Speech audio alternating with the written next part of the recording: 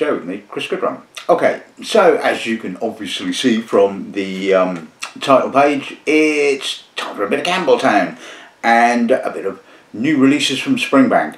And um, do I need a, an excuse to do an episode of the show on Springbank? No, it's the honest answer. Um, anyway, um, unfortunately, I didn't get. I, well, firstly, a big thank you to the distillery for the samples that they kindly have sent. Unfortunately, they didn't send me a sample of the uh, the, the Longrow um, Chardonnay cask that they released uh, a little while ago. Uh, so I basically had to shoehorn in uh, an eight-year-old uh, Kilkerran.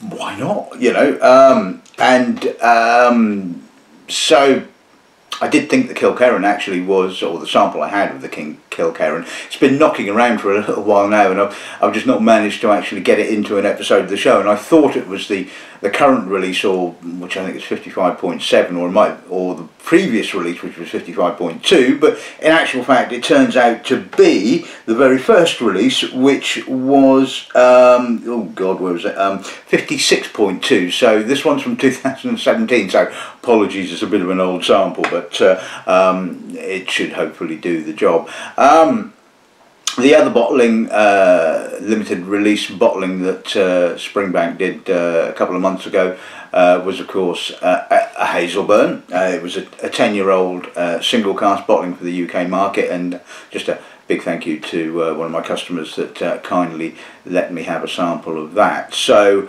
um, anyway, not really a great deal to say about Springbank, really. Um, kind of said it all before, and I've done several episodes of the show on Springbank, and um, oh, why not? Because I love Springbank.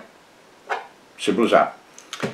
So anyway, uh, let's just take a look at today's lineup. Now, this was always going to be a bit of a tricky one, figuring out the order in which to do things, different cask types, different, different distilleries, different ABVs, and so we're going to kick off with the cask strength. Well, of course we're going to. No, we're going to kick off with the uh, with the Kilkerran. It's obviously eight years old.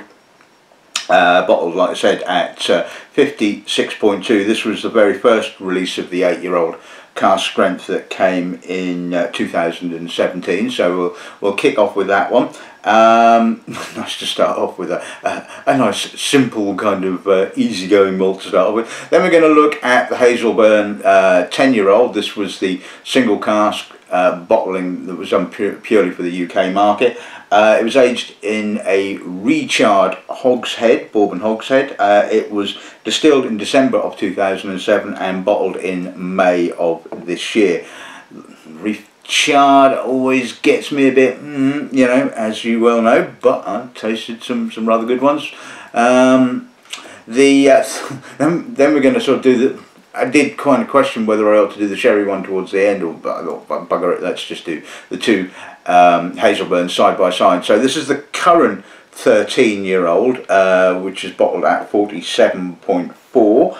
Uh, distilled in October of 2004 and bottled in April of 2018. 100% Oloroso, uh, exactly the same as uh, last year's bottling, I believe, which uh, I quite enjoyed. And I've had a soft spot for Hazelburn. I've much preferred it to, um, say, Auchentoshan, for example. I think even though it's a triple distilled spirit, it still seems to have you know plenty of guts, plenty of character, and seems to sort of like do sherry quite well. You know, it doesn't seem to be completely and utterly um, swamped, shall we say, by the uh, by the sherry.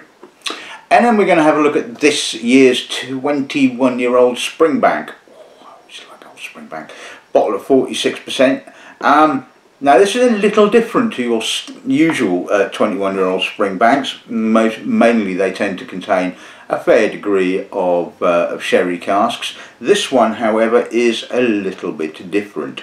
Uh, in fact it is 70% ex rum casks and 30% ex bourbon casks so that should be interesting. Um, don't think I've ever had a a 21 year old Springbank which has been aged in rum casks. I know they have bottled Springbank from rum casks before. Um, 12 year old, memory kind of I think somewhere in the back of my mind they did a 12 year old some some years ago. Um, but anyway, so this is going to be uh, quite interesting, I think. And finally, we're going to finish with a bit of peat, and why not? This is the current release of the Longrow 18, again bottled at 46%. Same cask uh, types as uh, last year's bottling, which was 60% sherry and 40% um, bourbon. Um, don't know whether they're exactly the same. Last year's it was I think fresh bourbon and refilled sherry. I don't know whether it's the same this time around. I just know it's sherry and bourbon. But anyway, we shall no doubt uh, find out what it's like. So that's this afternoon's uh, little lineup. I think it's going to be uh, quite interesting. So we'll uh, we'll kick off with the Glengyle.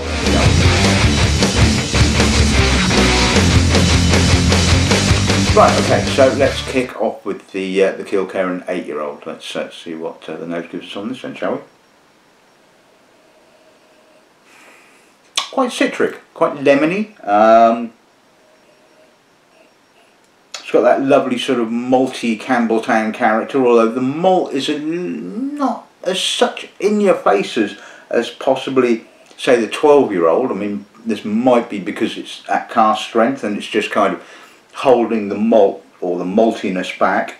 There's a little gristiness, fish oils, um, a little bit of earth.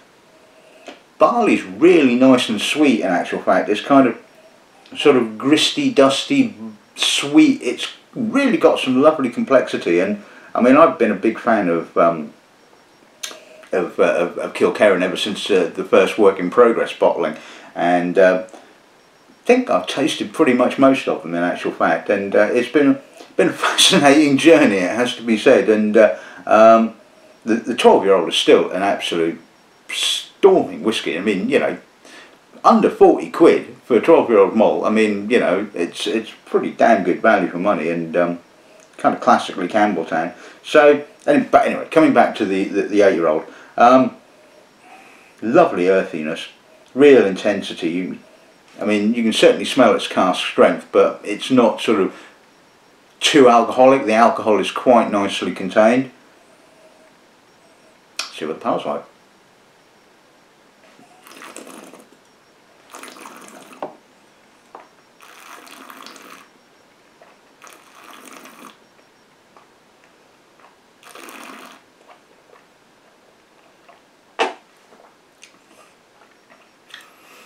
I've got a bit of a kick on the finish, it has to be said. So it kind of kicks off with some slightly creamy American oak, subtle toffee, um, and then in comes that sort of sweetish but dusty barley, um, fish oils. I mean, it's a really fishy finish, it has to be said. Touch of malt, quite tight. Um, the alcohol is, is, is masking the finish, and mouth is really watering. In actual fact, I mean, it, it, it comes across. Um, quite uh, quite alcoholic. But I mean, yeah, 56 is quite alcoholic. But I mean, I have tasted whiskies of that ABV that don't quite have the sort of same uh, intensity of alcohol, but it still feels really well integrated. Um, and it's not hot, and I'm pretty certain, well, I know for certain it doesn't fall apart when you put a little drop of water with it. But we shall put a little drop of water with it and um, see what that does to the uh, to the nose. Kind of pushes the barley down a little bit, does emphasise the malt a touch. Um, it's a lot oilier now, I'm getting a lot more of that sort of almost sort of cod liver oil um, kind of character. It's still got some light citrus, it's still got, you know, a, a pleasant um, freshness, a bit more salt now as well. Yeah, it's certainly sort of filled itself out and uh, like I said, it certainly emphasised the um, the oiliness of the uh, of the spirit. Still absolutely lovely, really complex for an eight-year-old, uh, and really very very impressive. Let's uh, see what uh, what the palate gives us now.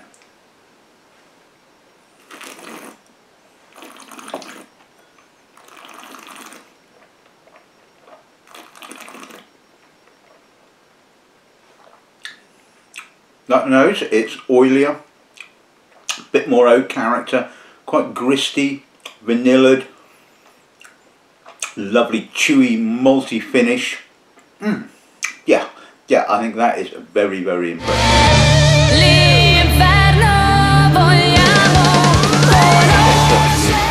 First of the two Hazelburns, so this is the uh, UK single cask, um, bottled at 53.9. Let's see what uh, the nose goes. Oh, that is a gorgeous nose. Um,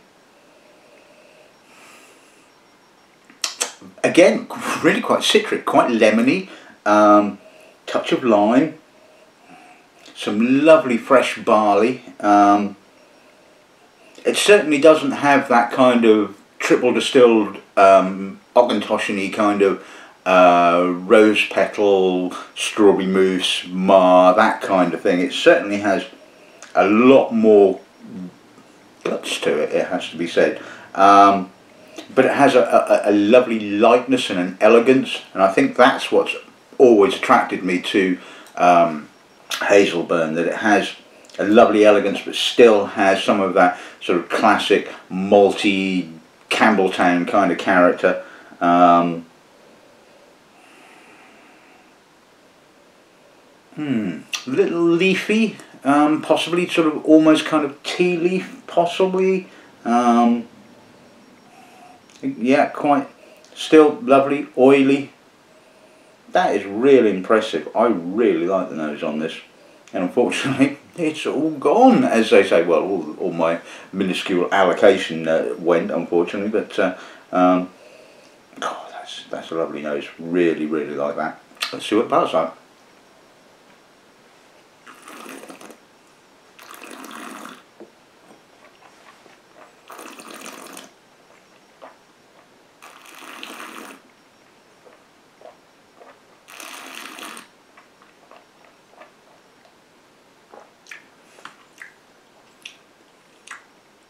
Mm, mm, mm. It's a bit of a contradictory whiskey, it has to be said. I mean, it's weighty, but it's elegant.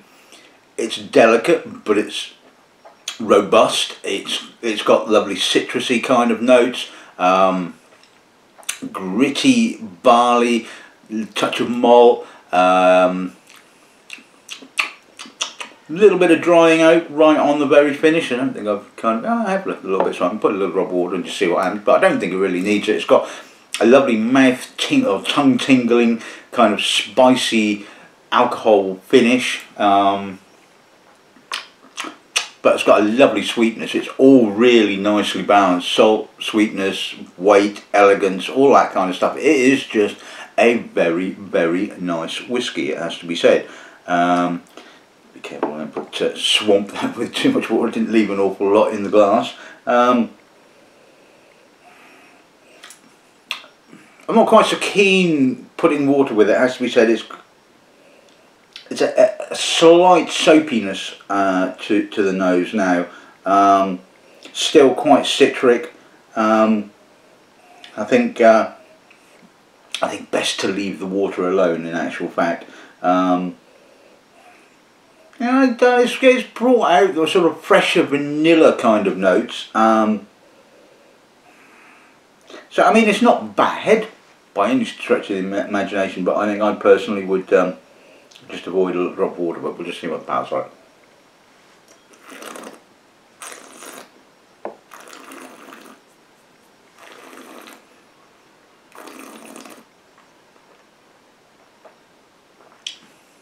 really taste the char now in actual fact. It's really brought out the wood.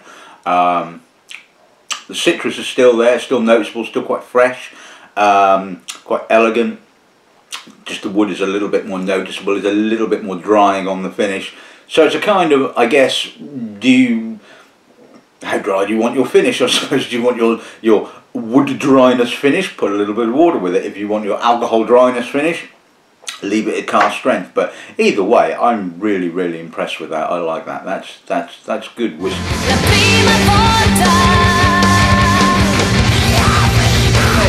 So let's move on to the second of the Hazelburn bottlings. This is the 13 year old Sherrywood bottled at 47.4. that, lost, quite a fair amount of alcohol in 13 years, hasn't it? Um, 100% Oloroso as far as I'm aware, which is exactly the same as uh, last year's bottling. Now, the difference between this one and last year's, last year's had a very much kind of grapey, winey, pruny PX kind of character to it. Um, this is more traditional Oloroso, I suppose, slightly herbal, slightly coffeed. Um,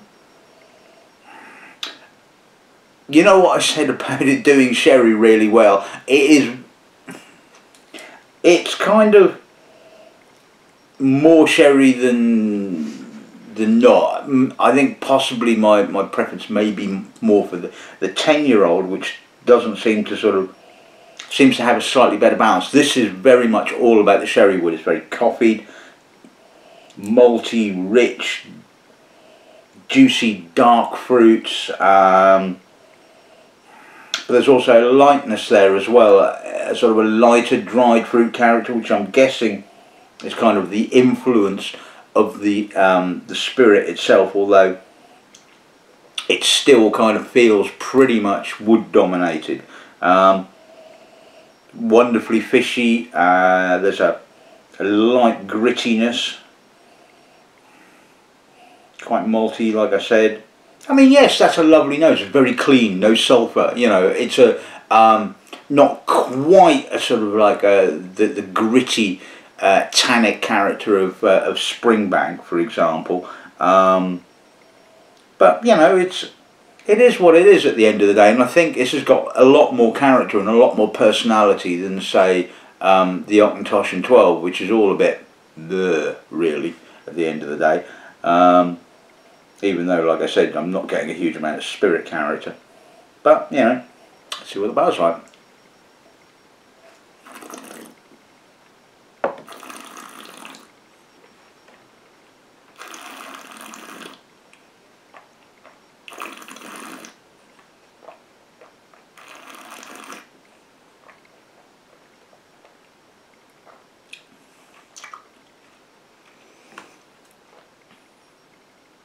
Oh, that's a sherry monster and a half. Um, really gritty finish. I mean, all I was saying about not being particularly gritty on the nose, but my god, that palate is gritty. Um, it's like chewing on sort of like um, like chewing on wood. Really, it's like um, I can taste those tannins on my tongue. Um, yeah, it's it's all pretty much wood. Um, it's kind of tar. It's treacle. It's raisinated fruits, um, a little bit of herbal oloroso, um, touch of violet, mm, maybe maybe a touch of violet, bit of pepper as well. Um, don't really get a great deal of character from the spirit, it has to be said. Um, and um, I, I kind of remember sort of last year's bottling just having a little bit more better balance personally. Um, I mean, I still like this. It's still impressive, and I think if you like Sherry Monsters, uh, I think you're going to love this. Uh, for me, I'd just like to see a little bit more spirit character personally, but, you know, um, that's my bag, as they say. But, you know, still an impressive whiskey,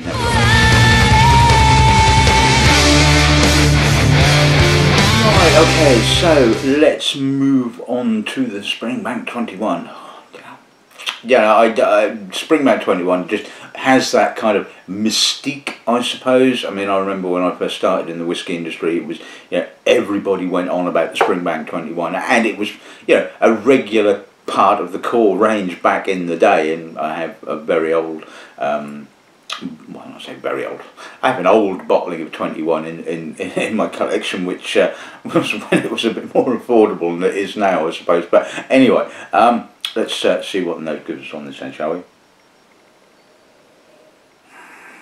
That is an interesting nose. It, on first nosing, it sort of feels old, but not quite 21. Um, it's got some lovely kind of rummy dried fruits. Um, I mean, I remember the, when I tasted this the first time when I was sent the sample, I didn't actually look up what the casks um, were, and I'm going, I can't smell any sherry. There must be some sherry in here. Springbank always has sherry, and um, but this is, is, is wonderfully aromatic. It's still quite fishy. it's got that lovely citrus note, that slightly lemony kind of note. Um, it has malt. It has that sort of mature, slightly baked fruit kind of character. Um, salt. There is that slightly gritty tannin character, which is indicative of Springbank. Um, but it's obviously the American oak that's kind of bringing that one through. Um, yeah, it's all almost kind of charred oak, gritty, not quite quite as gritty as some of the uh, the sherry uh, casks that they they use, but um, it still has that kind of obvious Springbank kind of character. Um, a little bit of violet, a little bit of, of, of creamy vanilla, a little bit of almost toffee, not quite toffee, but sort of just the vanilla is is just kind of moving towards the sort of toffee end of the spectrum. Um, that is just stunningly good. I mean, it is just lovely to see Springbank, old Springbank, in something other than uh, than sherry. You just get so kind of used to going old Springbank sherry. They do go well together. It has to be said. Um, but oh, this is just absolutely stunning absolutely gorgeous. I mean, yeah, I know this is expensive. I know this is two hundred pounds a bottle, and you can probably go, oh, two hundred pound a bottle, it's not really worth it. But oh, on this evidence, you know, this this particular bottling, you know. And I must admit, I've not looked at the back back label of the bottling, but um, that's possibly one thing I would like to have seen that there was some kind of difference between the labelling that you know it's pretty much the same sort of since they went to the new style labellings um, and uh, you know it would be nice to sort of have some slight sort of you know so you look at them and go okay so that's the 2018 bottling. I mean I don't know whether it's on the back of the uh, the label or not I must admit I didn't look. But I suppose it's probably it's probably printed on the bottle somewhere I imagine. Um, but anyway that's that's by the by coming back to the whiskey, this is just, oh, stunning, absolutely stunning. Let's see what the power's like.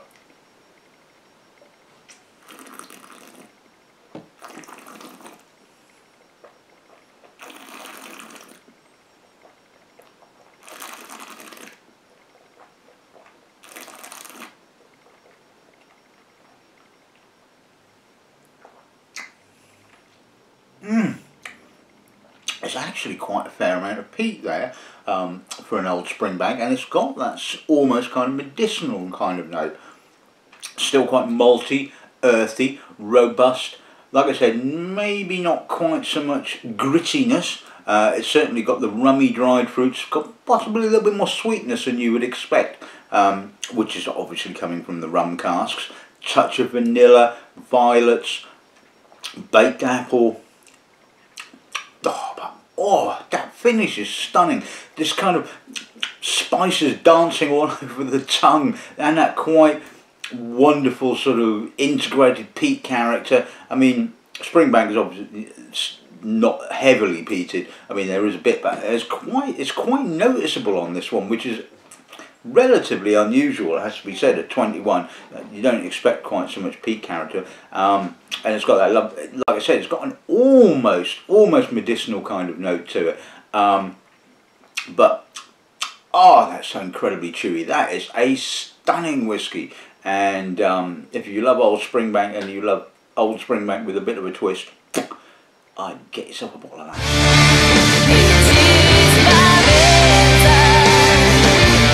Okay, and finally, let's have a bit of proper peat then, should we? Uh, so this is this year's uh, Longrow 18, and um, uh, always look forward to uh, to the 18-year-old Longrow. Again, been a big fan of Longrow for quite some time, so let's see what the nose gives us on this. Herbally, fishy, slightly medicinal. Um, Oh, but that's got such a beautiful, slight orangey kind of citrus character. Um, and although it's only 40% bourbon, the bourbon does seem to be a little bit more forward, so I'm guessing that the, the sherry is refill sherry. Um, it's got that classic kind of gritty coffee sherry kind of character. Um, but oh, the balance on that is fabulous it has, like I said, it's really citric, but more in the in in the orange end of the citrus spectrum as opposed to the lemony end of the citrus spectrum. Um, really fishy, really, no, you know, yeah, really, really oily, quite oily in actual fact. Um, and it's got that slight maltiness as well. I mean, again, it's just like it can't be anything other. You sort of smell this kind, this whiskey, and it's not Islay, it's not Highland. It is, it is Campbeltown. It just, just kind of classic, absolute classic. Let's see what the power's like.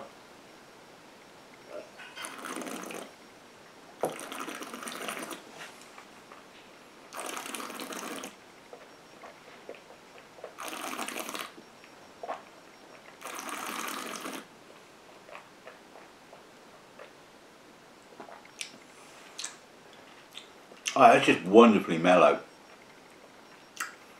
A bit more sherry on the palate in actual fact. It kind of kicks off with the sort of treacle, the char, the raisinated fruit, um, a little bit of peat, violets, um, a little bit of soft but gritty tannins. That that kind of tannins are all kind of wrapped up in the treacly kind of notes. Um, but the American oak certainly comes through towards the the, the, the, the back end of the middle and the finish and it certainly kind of lightens the whole palette um, I mean the sherry kind of like sort of drops off a little bit. You still get a little bit of dried fruit on the finish a little bit of in the on the edges of the palate a little bit of spice as well. Um, but oh that is stunningly good wonderfully mellow but still got plenty of peat character. It's not a monster. It's, it's you know but there's enough peat there to sort of be um, be of interest, I suppose. And um, oh, oh, stunning, absolutely stunning.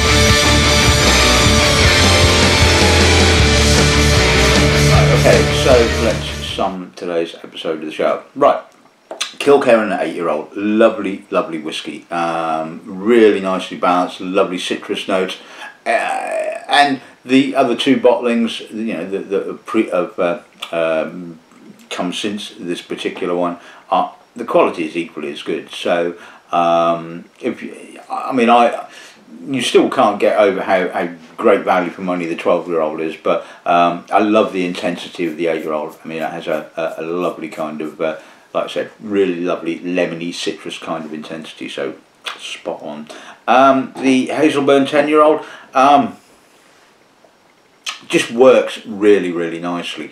Uh, I was a little bit concerned about the the the recharred hoggies uh, but again it's proven me wrong. Obviously uh, um, the, the oak certainly didn't feel forced or false or kind of unnatural in any way shape or form. In actual fact I thought that was just an absolutely stunning bottling of uh, of uh, Hazelburn. So mm. the um, 13 year old sherry? Well I mean all right not as you, not totally to my personal taste but you know you have to say very clean um, nice grittiness to it plenty of sherry character um, all right not so much, a huge amount of, of spirit character but you know um, like I said I think it sort of kicks the Auchentoshan's butt so to speak if you like that kind of style. So um, certainly I have some of that in stock and if it sounds like your kind of cup of tea then um, do yourself a favour and purchase a bottle. And the 21 year old Springbank, well without a doubt the star of the of the show it has to be said. I mean you know it's very very rare that you come across an old um, distillery bottled Springbank that's that's not absolutely stunning. It has to be said. It just kind of like goes hand in hand. You know, just old Springbank, stunning. You know, um, and the lovely thing about it is it's just totally totally different to what you would expect from a 21 year old Springbank. No sherry and lovely interaction between the American oak and the uh, the, the, the rum casks. So very very impressive and yes not cheap, but I think certainly worth it. And the Longrow 18, well, it just just keeps keeps being really consistent, as we said. I mean, I've tasted you know 18 year old Longrows that maybe have a little less peat and some that have a little more peat, you know, but you know, it is what it is at the end of the day. And uh, um, like I said, I think I've, I've always been a big, big, big fan of uh, uh, of the Longrow as I've been a big fan of Springbank for a number of years, as you well know. So, um, so there you go. That's this week's episode uh, in the bag. Um, I haven't got a bloody clue what I'm doing next week. I'm sure I'll sort something out, and I'm sure it'll be pretty impressive. I, just blow my own trumpet sound like. But anyway, until uh, till that time, um, grab yourself a bottle of Springbank and um, good afternoon.